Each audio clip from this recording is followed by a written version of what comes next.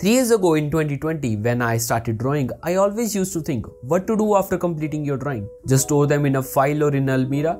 But uh, storing them in these places cause these smudges or fingerprints that ruin your drawing. But uh, to prevent these fingerprints or smudges, uh, you need to apply a layer of a liquid which is called fixative or varnish. In this video, I'm going to show you how you can apply a varnish or fixative on your drawings. So let's roll the intro and see how you can save your drawings.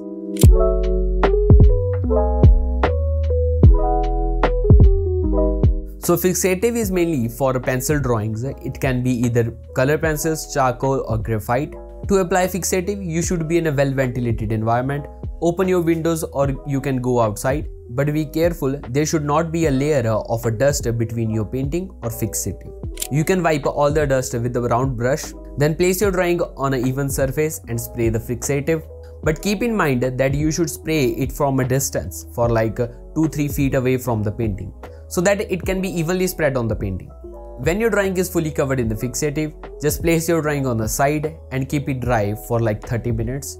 That's it, now your drawing is ready to be framed. Let's see how to apply varnish. The process of applying varnish is basically the same.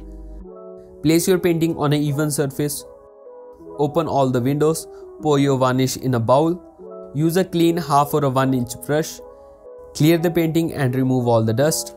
Then apply the varnish with the brush. First apply it horizontally, then vertically to cover the surface evenly. Just apply 2-3 layers, not more than that. Place it on the side, let it dry and we are good to go. Keep in mind that your painting should be completely dry. Oil paintings can take from like 8 to 12 months to dry completely. You can also watch my previous video to know what happens if you don't dry your painting completely. That's it for today. I hope you like this video. If you like this video, don't forget to like, share and subscribe. See you next one. Till then, goodbye. Sashika.